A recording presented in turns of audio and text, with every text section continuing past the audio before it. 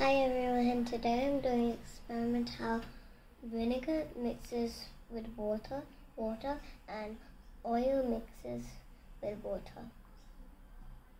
So first I'm going to add a little vinegar into the water.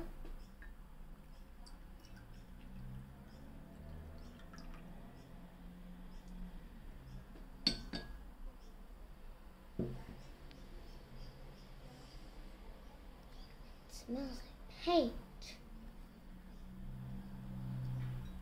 Has it mixed? Yes. Now we're gonna do oil with water. Let's see if it mixed or not. Did it mix? No. It is floating and it's not sinking. But how, I wonder? Why, I wonder?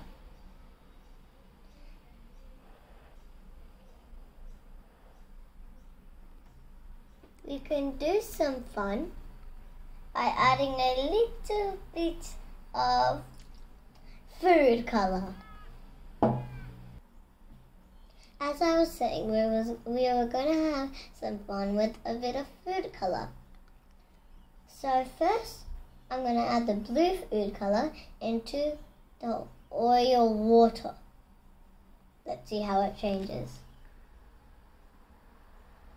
In, it's synced and it is not floating.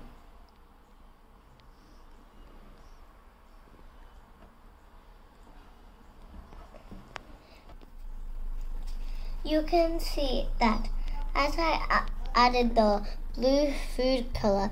There's a beautiful floating blue food color under the oil.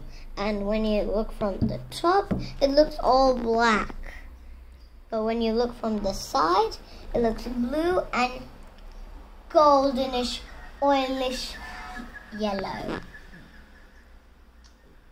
So that is for oilish blue food color water. Now, we're going to try the vinegar water and add the red dye. See if anything changes.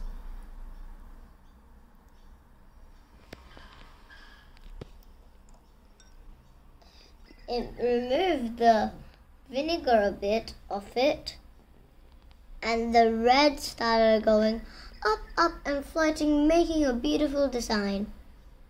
And at the top, you can see it's like black currant juice. But you should not taste it. It will taste disgusting. And the bottom, it looks like just some fluffy red clouds. So now we're going to stir the mixture of oil and water and then see what happens. starting to turn blue. Let's see if the oil comes out. Does the oil come back?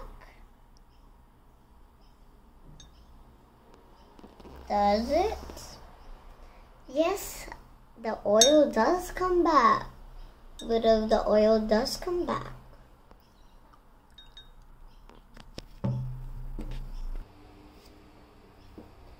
So my two observations are that if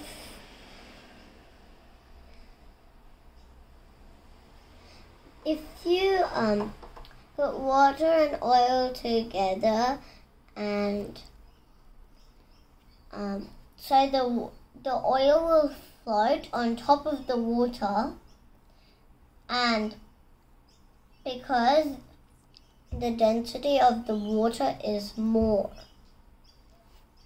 My second observation is that oil and water cannot be mixed. Even if you stir it